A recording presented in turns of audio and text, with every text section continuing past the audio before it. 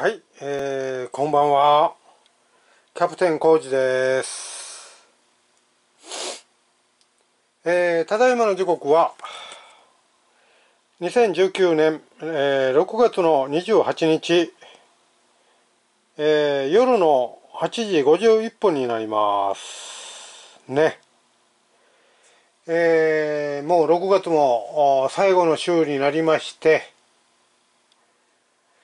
えー、今日は金曜日、えー、6月28日、明日、明後日でもう6月は終わります。それでもう、あの、カレンダーももうめくっております。早く、早くもね。早くもカレンダーをめくって、これはね、あの、日立さんですね。一応電話番号載せておきましょうかね。柏崎電機という僕の家のあのかかりつけのね、えー、新築当時にあの電気関係全部してもらったお店の、えー、柏木電機さんというところのあのカレンダーをもらったのを今壁に貼って見ております。えー、もう今日はね蒸し暑くてね雨を降ったり止んだりまあ曇りが曇りだったんですけどね。もうあの部屋の中でねあのエアコン効かしてね、えー、過ごしております。今日は蒸し暑いのでね。うん。そしてねあの昨日ねあのエンジン壊れたんで、えー、またねこれを、えー、今からねオーバーホールしようかなと思います。どこが悪いかわからないけれどもねもうこれ多分もうダメだろうと思いますので、えーダメということはないんですけどね、まだね。えー、ピストンとスリーブと、あの、ヘッドとインナーね。インナー、ヘッドですか。おキャブレターもまだいけると思うんですけど、まあ、本当あの、調整がね、あの、スロージェットとね、メインジェットとね、スロージェットと、これメインジェットですね、この上から見えるやつ。これがスロメインジェットですけどもスロージェットがここについておりましてそれとあとあのこの小さいねあのアイドリングアジャスタースクリューですかね。それでスロージェットがあのちょっと調整がわからないんですけどもまあそれだけではないと思いますけどねもうかなり走り込んでますのでね。それであのちょっと分解してみようかなと思った次第です。はい、えー、そんな感じで、えー、パパッとね、まあ、今日はね簡単にやっていきたいと思います。もうこのエンジンはもう使わないと思いますのでしばらくは使わないでまたねあの使うとしたらねあのまた買います。いくらでもねあるんでねあのなんというかねえー、どこ悪いのにもうこの直すのにあの時間かけておいて時間かけてもねあのしょうがないんでね。直すのにすごく時間がかかるようではもうこれはね。面白くな本当に面白くないんでね。あの本当はもう完璧な状態で走る走らせたいんでねこういうこの修理のね動画を上げてもね面白くないと思います。だから走行動画ねスカーッとあの胸のすくようなねあの走りをね一日でも早くや皆さんにあの見てもらいたいのでまあもうしばらく今週、うん、日曜日は雨ですんでまあ平日はちょっと晴れたらね晴れ晴れたらちょっとスカーッとあの広いところでねあの走らせみようかと思います。そしてこれはもうあの部品取りとしてねちょっと取っておこうかと思いますね。ヘッドもねもうこれももうダメなんだね。しかしあのむちゃくちゃねあのしましたんであの当時2006年当時はねむむちゃくちゃあの走らせたんだね。アクセル全開でね走らせたんで、えー、無理がいってるんだと思います。はい、えー、ヘッドが取れましたね。そして、えー、これからねあの圧縮漏れが出してるんだと思いますけどね。あのしっかりね締めらないんですよね。これね。よし。だからどっかおかしいのかなと。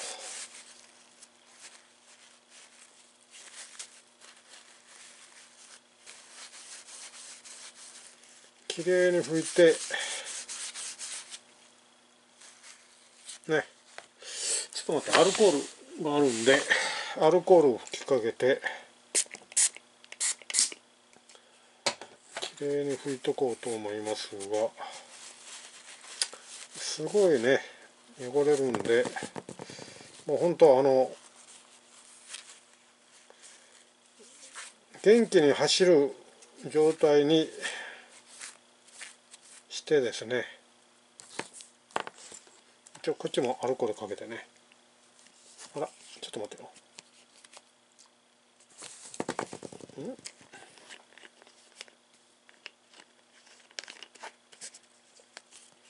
と見えてますかね？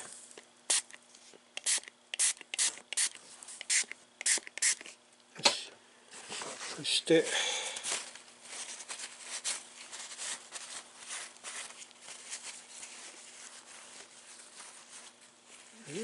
結構汚れてますんでね。キャブレターも取っときましょう。キャブレターも取って。ね。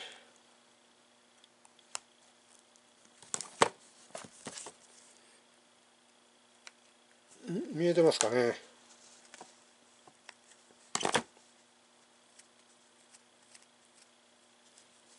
キャブレター取れんかなよいしょ硬いなこんな感じで取りましたけれども。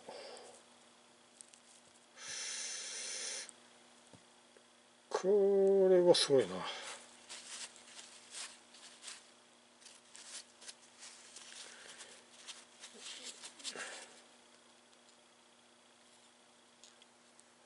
なんでエンジンかからんのやろうね。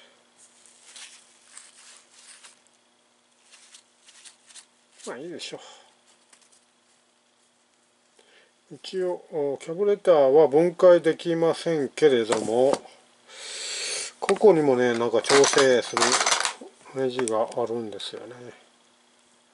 そうかマイナスか。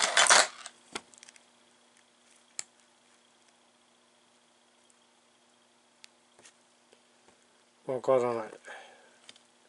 六角レンチでしっかり締まっとるんで。動きません。六角緩めたらダメかな。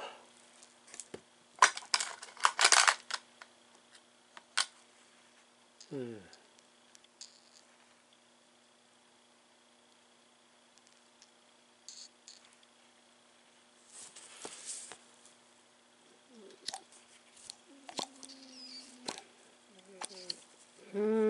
ともしかしたらあのピストンスリーブがね中のスリーブが傷が入っても全くダメなのかもしれないしね。わからないけど。だいたいスリーブ変えたらエンジンが動くんですよね。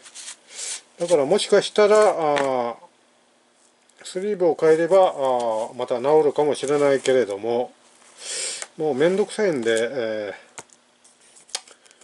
これね、あの、1万7000出せば、あの、新品が買えたんで、ね、今時の、今時のあのマシンでもね、1万、2万も出せばもう買えると思いますので、そんなに、あら？これだ。あら？これ青やっな。いあれで？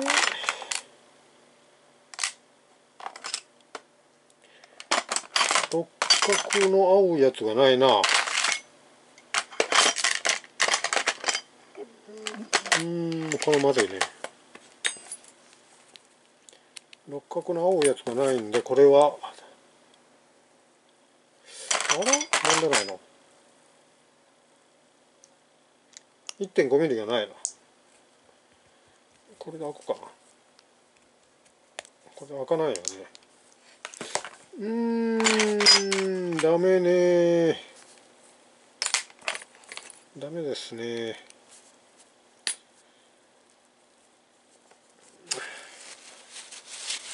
掃除だけしとくか。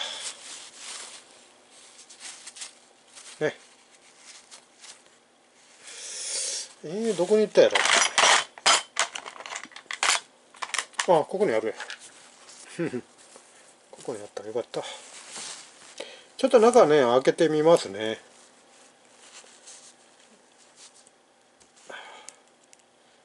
開けてみます。せっかくなんで。傷が入ってるかな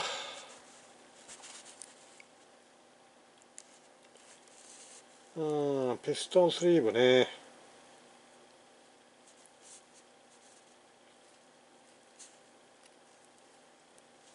この前あのスタータースターターかけてねあのエンジンかけてる時はあのピストンのヘッドがね熱くなってたんで、えー、爆発はしてたと思うんですがえー、抜けてる、うん、圧縮のね空気がね抜けてるみたいですので抜けてるんであのエンジンがかからなかったということになりますが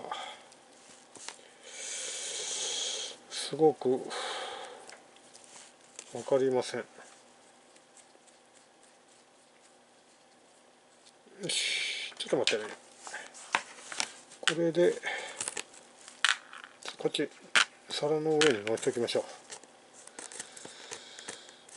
ふう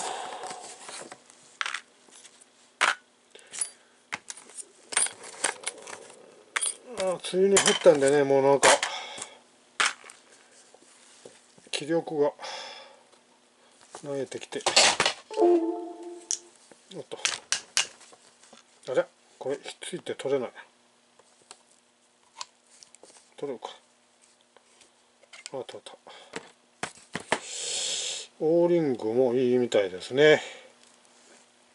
オーリングをついてますね。これは大丈夫だね。まあなければねまた青いやつを買ってきてねつけるんだけれども。ああ中が中がなんか色が変わってるな。そしてああもうスカスカかな。そうでもないかな。分からんね。うん多分ピストンとスリーブのセットやね。これを買えば大丈夫と思いますね。ちょっと外してみましょうかね。スリーブ。スリーブを外すんですが。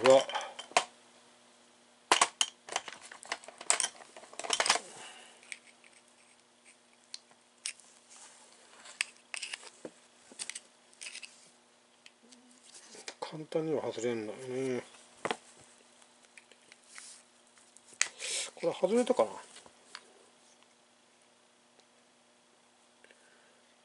これスリーブを外さんと外れないね。ん？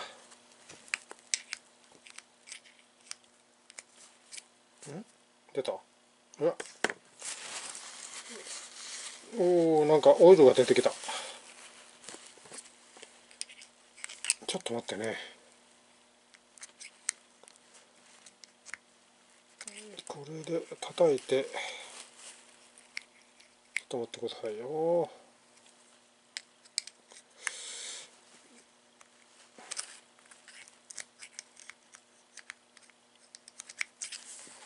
うんスリーブが抜けないんでこれはまずいな。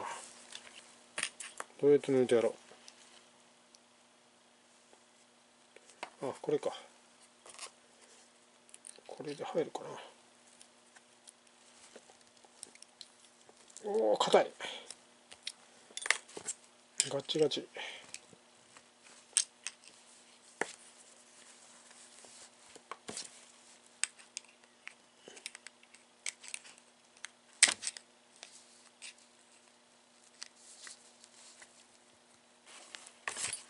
うん。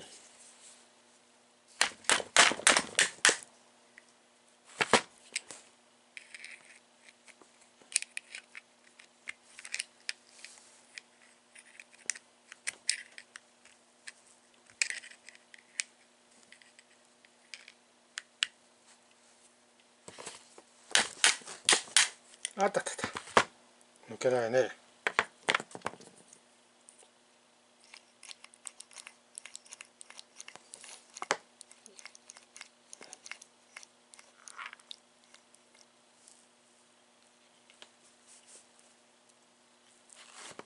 ちょっと待ってね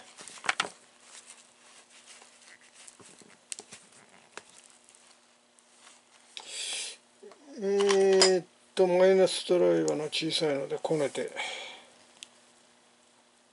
あこれでいけるか。おいけないね。精密ドライバーで。ちょっと待ってね。精密ドライバーのマイナス。これマイナスかあこれで。こう固着しとるんかな。いけないですね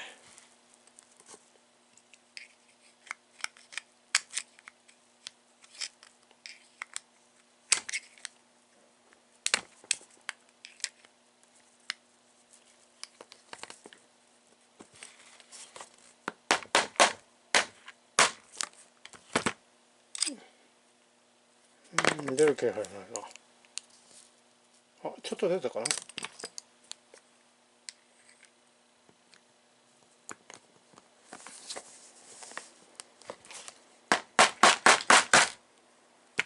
あ出てきましたね。ちょっと出てますね。うん。あ出てきました。はいこんな感じね。出てきましたが。また拭いときましょ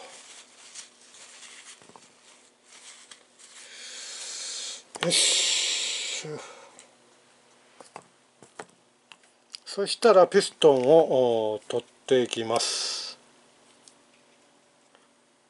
よし。これも簡単に取れるんでね。よいしょ。おっと。はい。ピストンこんな感じですね。これもねなんか色がね変わってるんよね。茶色になってねヘッドの頭の方がねあのピストンヘッドの方が色が変わってるんでまあどうなんでしょうかね。焼けとるというかね。そしてスリーブの方はスリーブの方はどうもないな。どうもないけどちょっと待って。うん。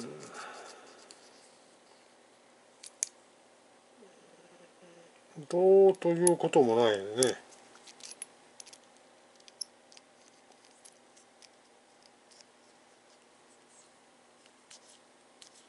多分うん。どうもないんですけどもやっぱりねあの結構色がねあのすごくねあのえー、ピカピカに光ってますんで、えー、かなりねあのすり減ってるものと思われますね。まあ大丈夫と思うんやけどねこれぐらいやったら。分かりませんのでこれもちょっとねあの検討してですね。傷は入ってないみたいですけどね。傷は入ってないんで大丈夫と思います。はい。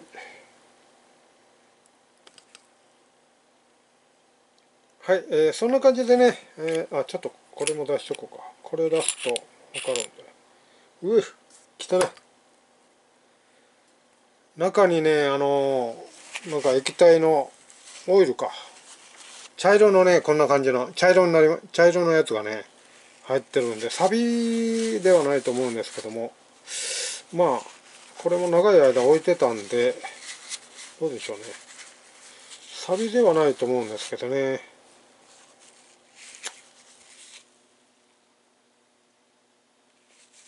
うん。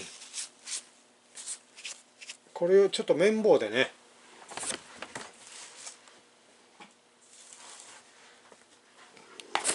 綿棒で拭きましょう。拭いておきましょう。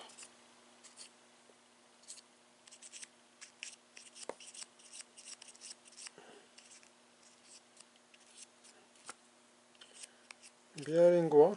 うんベアリングは大丈夫やね。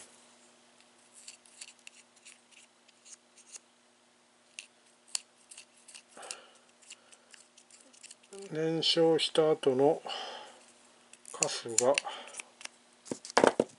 溜まってるんかな。でクランクの軸はちょっと茶色のねあの茶色く変色茶色に変色してるんで、えー、錆びてるんでしょうね。こんな感じでちょっと茶色になってますんであの重りのね重りが茶色になってますよ。まず使えるんですけどね。はい、えー、これでまた入れときます。ねまだ使えますよねこれね。この辺は大丈夫です。えー、ピストコンロットを吸った跡があるんですけどもねリアリングから出てくるんだけども問題はないみたいですね。で、えー、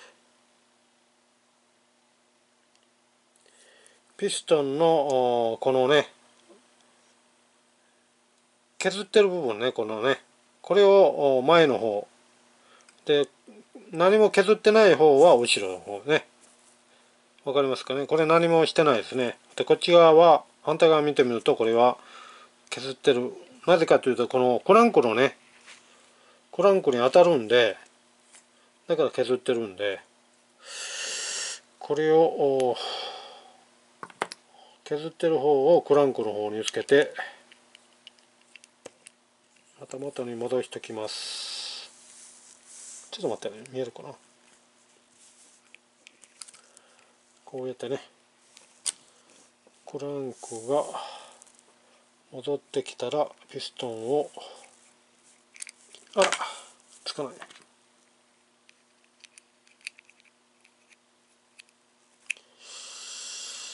うんとじゃつかない場合は道具を利用して六角でねつけると。これで、えー、ピストンが上がり下がりして干渉しないようにね。下がった時点であのクランクのねこの重りのねあのなんですか？あれが当たらないようにね下がってもねなってるわけです。方向としてはねそういう感じで。そしてちょっとオイルを拭いときますね。ここ。オイルを拭いてきれいにしときましょ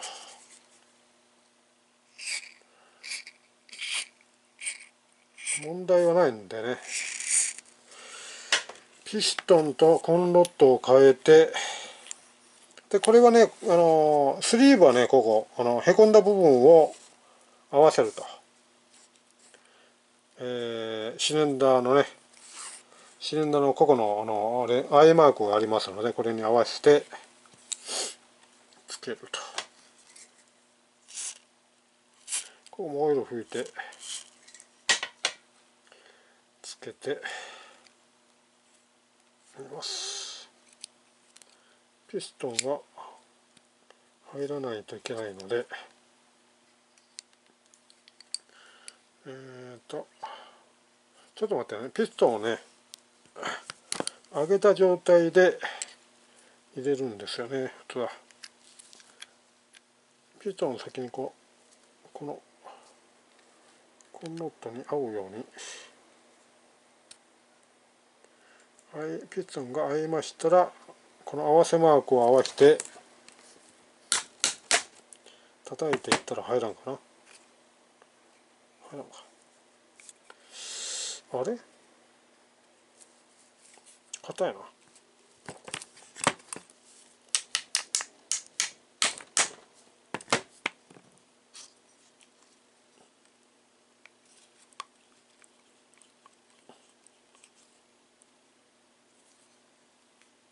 硬いです。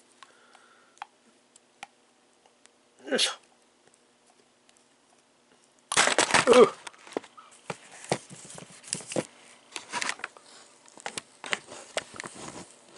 よしちょっと待ってね。どうなった？のあ外れたのか。ピストンが外れてますねまた。ちょっと待ってね。ピストンが外れやすいところで外れた。はい入りました。あれ？うんいいね。そして、えー、またクランクを取り付けて合わせマークうよしまた。これでいいはずあピストンが。ずれてますよ。よし。慎重に慎重に。はい入りました。こんな感じで入ったらねちょっと回転させてみたら、うん、よく回るんやけどね。圧縮漏れか圧縮は抜けとるんかな。わかりませんが。インナーヘッドとこのアウターヘッドねもう変えよ。うアウターヘッド変えるのいいけどな。はいそんな感じです。でなんか錆びないようにね。オイルをいっぱい入れておきます。この間ね。そしたらまたいつか使うようなことがあればできるんでね。そして、えー、これをキャブレターもまたつけときます。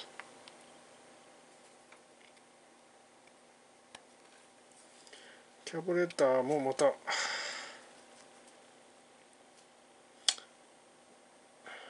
あそっか。シリコンスプレーを使うんとダメやな。まあいいでしょう。いつかなんかで使うときに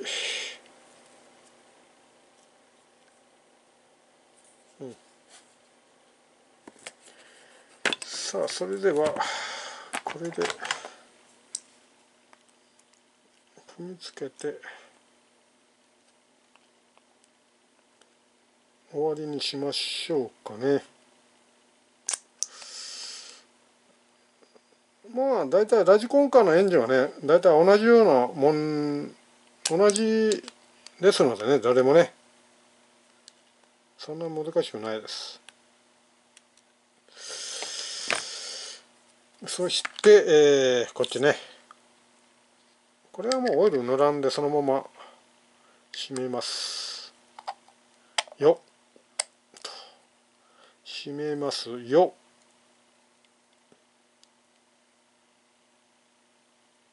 ね。これ大体あのパッキンがついてるはずなんだけどパッキンないのよね。もともとね。パッキンはいらないか。しっかり密閉されてるんでね。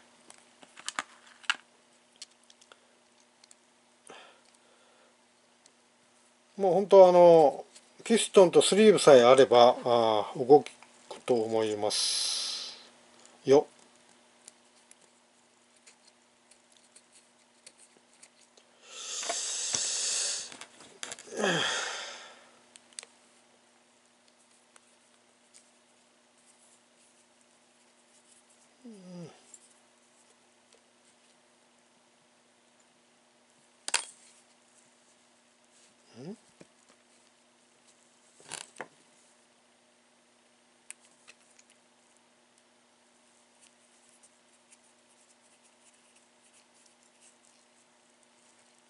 っあ閉めて。はい閉まりました。簡単にはね。難しないね。だからまともにあの動くエンジンを2つか3つ持っとけばね、えー、1つこ1つが壊れたらねいつでもあのできますのでね。車もねあの F1 みたいにね T, T カーみたいにねあの予備のねあの車を持っとけばいいかな。はい閉まりましたね。まああんまり力入れて閉,、ま、閉めなくてもいいんでね。ある程度閉まっとけばいいでしょう。と言いつつもうちょっとね圧縮が漏れてるんかどうかは知らないけれども。ああもうもう地味やろな。どれぐらい走らせたかな。圧縮は抜けとんかもしれません。抜けてないね。いや抜けてないと。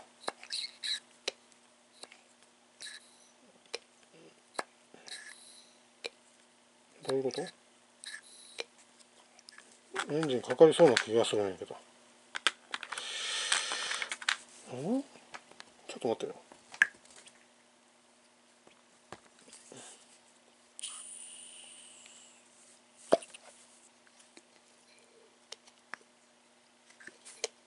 抜けてはないですな。こ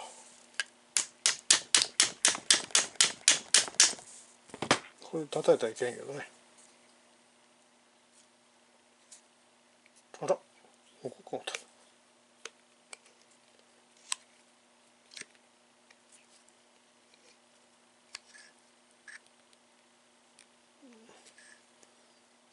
うんよくわかんないんだけど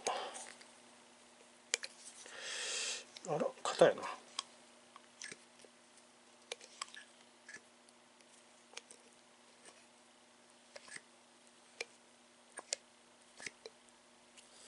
まあブレークインしてみましょうかね。あのー、あれで。台作ってね。台作ってあのー、プロペラでねあの鳴らし運転するあれで。ブレークインをしましょうかね。まあこれはもうあの保存しときます。もう使わない。めんどくさいもう。相当暇な時はやりますけどね。はいできました。これでいいでしょう。うん。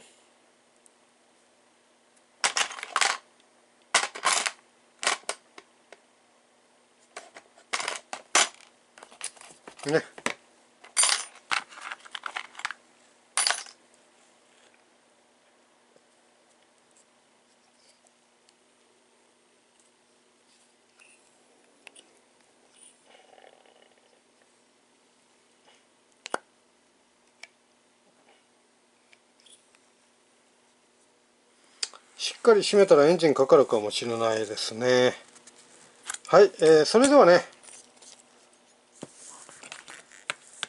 こんな感じで、えー、今日は終わりたいと思います。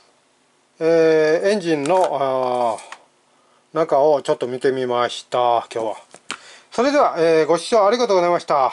この動画が面白ければ、チャンネル登録お願いします。引き続きね、あのー、またあのー、タミヤのね、エンジン、あの、この前乗せ、また乗せましたので、またエンジン、晴れたらね、晴れ、晴れたら、あのエンジンかけて走らせてみたいと思います。お楽しみに。それでは、えー、ご視聴ありがとうございました。この辺で失礼いたします。